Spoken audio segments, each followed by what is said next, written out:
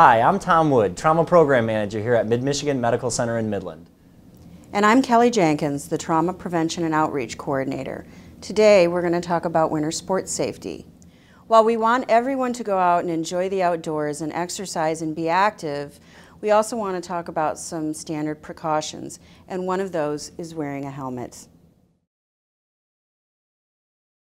Helmets are recommended for any of the high speed or high impact activities such as snowboarding, skiing, hockey, speed skating, or the motorized activities like snowmobiling or riding an ATV.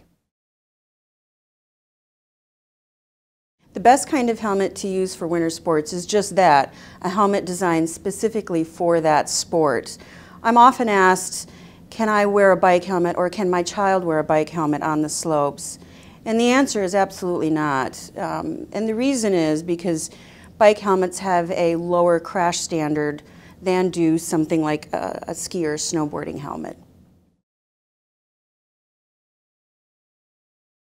You want to make sure that it is one that has a label on the inside that is certified from, from one of three agencies, either ASTM, CEN, or SNELL.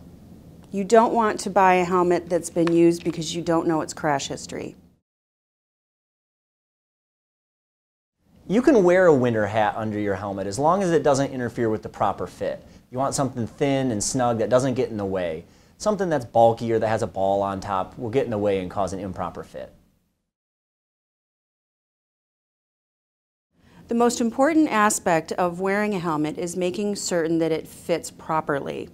And in order to fit a helmet, such as a ski or a snowboard helmet, um, to either to fit it on yourself or a child, I like to open it up, make certain that the straps are straight, and then fit it snugly down on your head so that the, the upper edge is just above your eyebrows. When you're adjusting for a fit, you want to make certain that the helmet's not rocking side to side or that it's twisting. If it's doing either of those, then you want to consider another style or another size of helmets. The straps of the helmet should be adjusted so that one strap is in front of the ear or in, the, in this case the ear pad and one strap behind. Um, and then in some instances, not this one, but in some instances there will be a dial ring in the back and you want to tighten that ring up for a snug fit. A helmet should be replaced when there's obvious damage to it, when it's been in a hard crash such as striking a tree or a rock, or when it no longer fits. So we at Mid-Michigan encourage you to go outside, enjoy the outdoors, be active, exercise, but be sure to wear the gear.